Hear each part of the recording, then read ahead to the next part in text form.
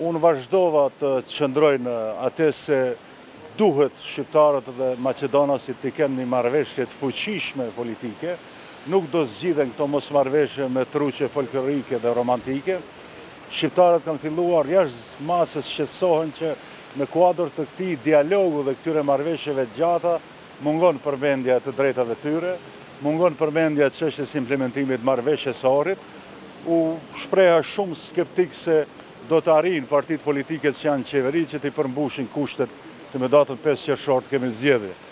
Fatkeqësisht kolegët e mi të partive, tre partive tjera që janë në qeverisje, më duket nuk i marrin mesazhet drejt.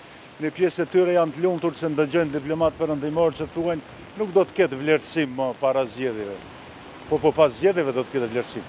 Dhe kjo është më e rëndë dhe nuk ka mundësi për provim pranues.